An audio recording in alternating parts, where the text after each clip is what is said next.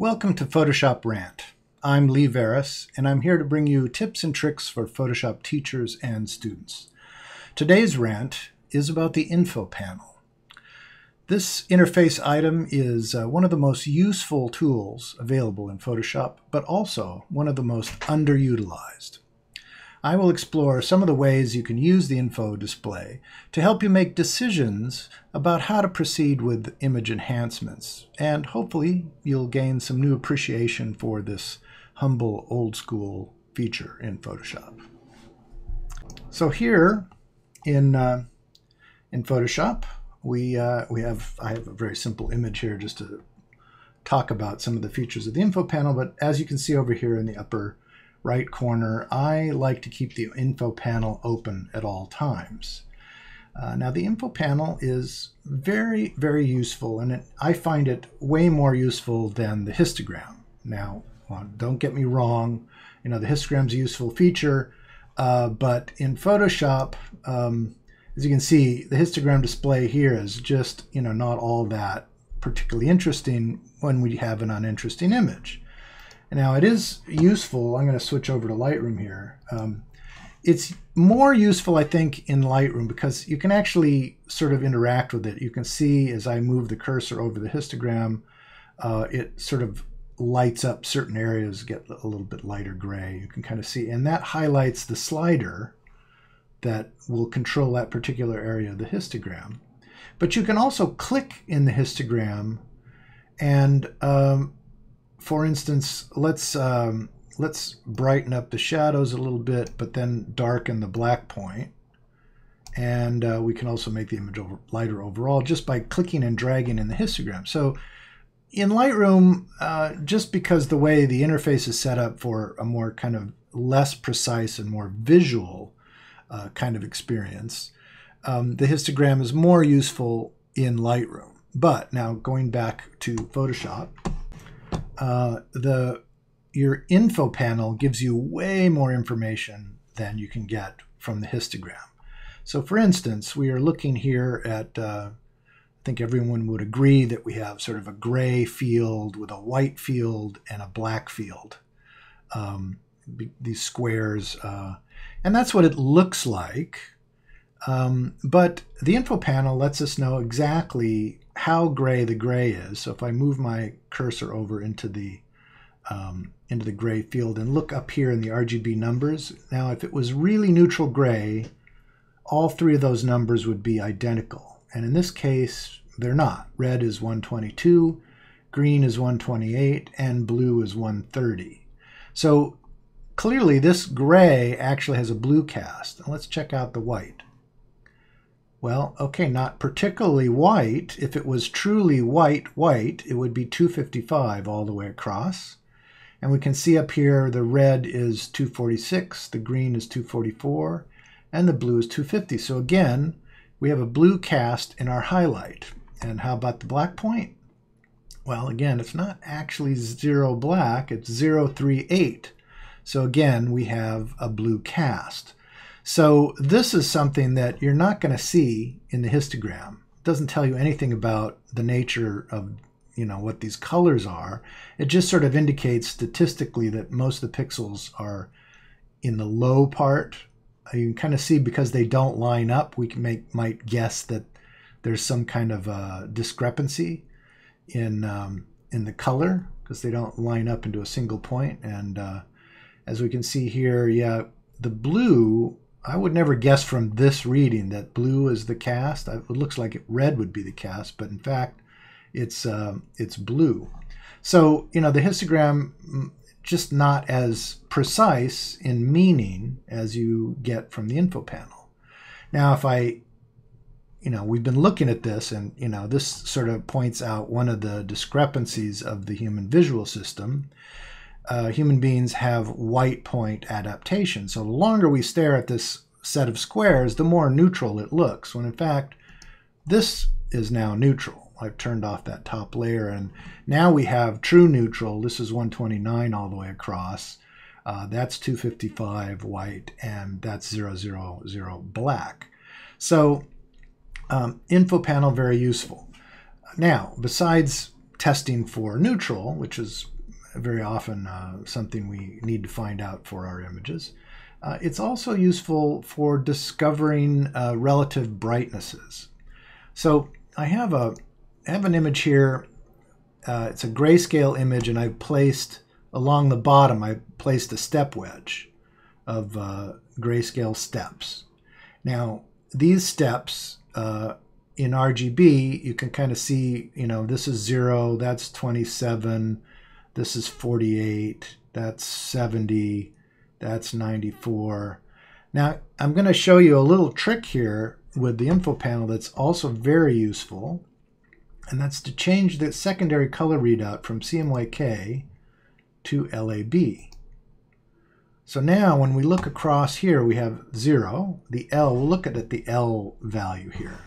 we have 0, that's 10, 20, 30, 40, there's 50%, 60, 70, 80, 90, and 100% brightness.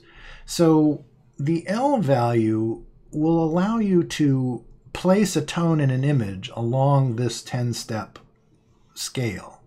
And for those old school people, this may remind you a little bit of the uh, Ansel Adams zone system, where we had zone 0 to uh, 10.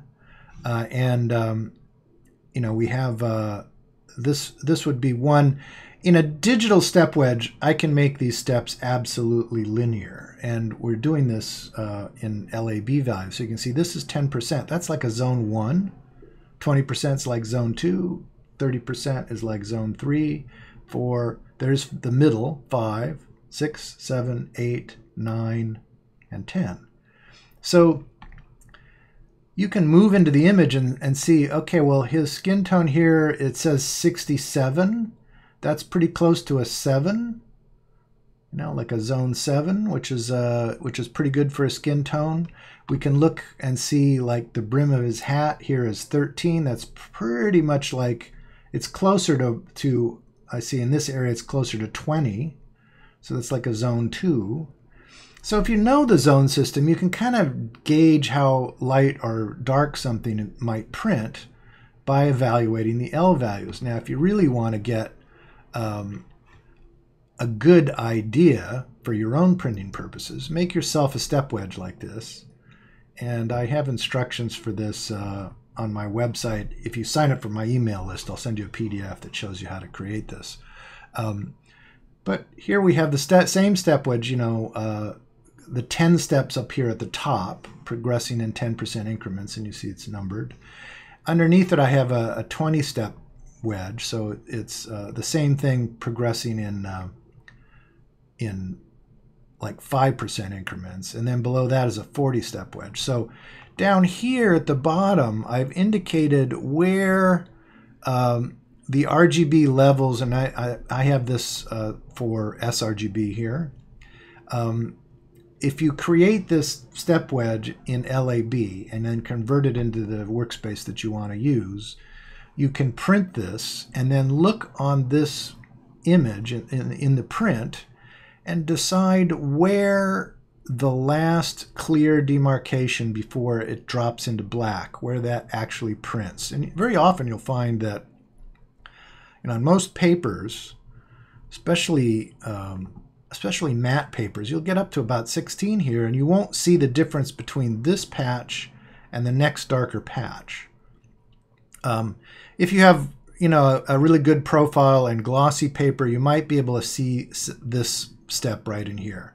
But almost, you know, it's it's not usually the case where you can I, where you can separate a level of nine from zero. These two squares almost always print the same level of black and again, like I say for most matte papers, these three squares would print the same level of black.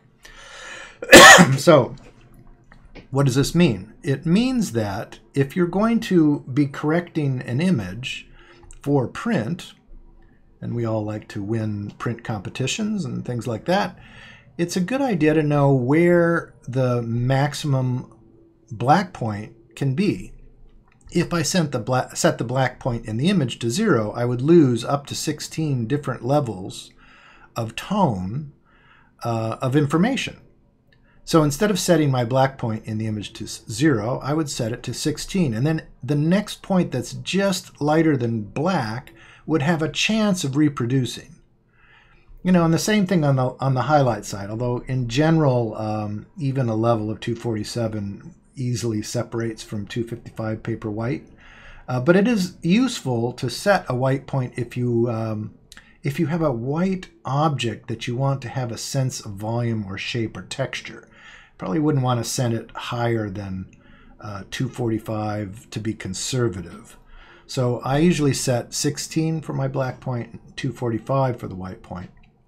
But here on the step wedge, you can print this out and see for yourself where those limits would be for you and your printer. Um, so let's um, let's see. Let's take a look at let's look at this one.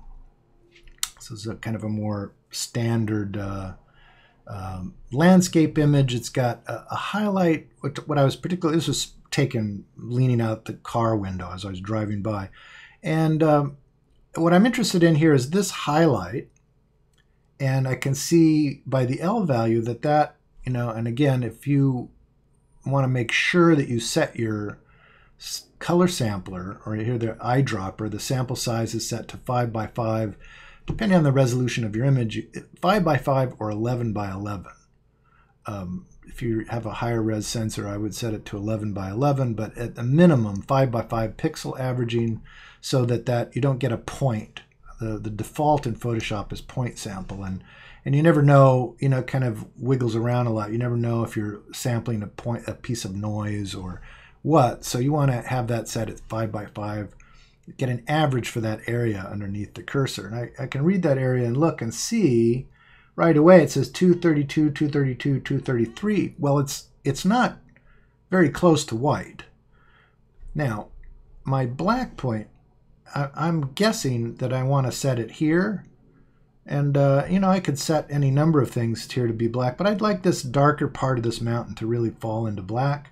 And I can see that it's 30, 26, 27. That's has an L value of 10. So um, it could probably go a bit lower. You know, again, um, if I set the black point to uh, something above, uh, say, uh, 6 or 16 pixels, uh, 16 levels, um, then I, I know that that's my maximum black point. So I'm going to say, I'll say 15. That's what I usually set. So I'm looking here 30, 26, 27, and that's not close to 13 or 15. Um, and it shows me an L value of 10. So I know it's not you know, I could go lower than a zone one to get that to be black. I don't necessarily want to go all the way to zero, but I can see at a glance here, just by checking some things out, that um, my range hasn't been maximized, even though it looks okay. Again, uh, in Photoshop, we can be much more precise. So I'm going to go ahead and select now from the eyedropper, I'm going to select the color sample tool and I'm actually going to place a point right there on that. That's, a, that's an important highlight for me. And I'm going to say this is the important shadow value. And I'll put a curve up. And let's let's start by making the black point darker. And uh, let's see here, uh, 31, 26, 29. So I'd like that really to read um, uh, 15, 15, 15. So right now it's kind of on the blue side. So let's see, I'm going to move this over until the, the highest value is in the red, uh, the lowest value is in the green channel. So I'm just going to move it over to till the RGB endpoint makes the green channel 15.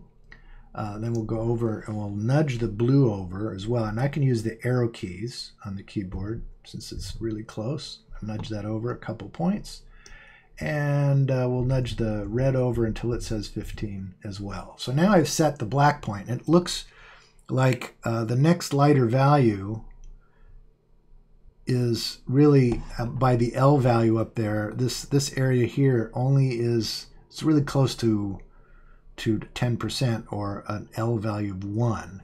So I'd really like that to be a little more separation there give me a little more shadow detail. So I'm going to take my little hand tool and click on that point to place a point on the curve where this, this tone lives, and I'm going to nudge it up. And I'll just leave my cursor there and look at the, the numbers up here, the L numbers and the RGB numbers. And I just want to see that L value go up a little bit, maybe get it closer to uh,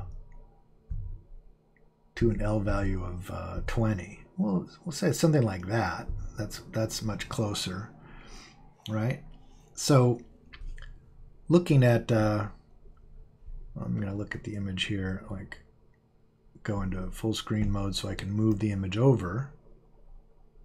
So I'm looking in this area. Let's toggle the the the curve on and off.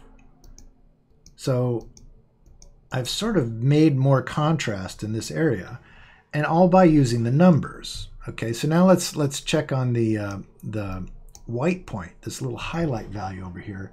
So right now it says 243, 243, 244. Um, since we elevated this one black point, it has raised that point just a little bit, but I'm going to nudge it even more.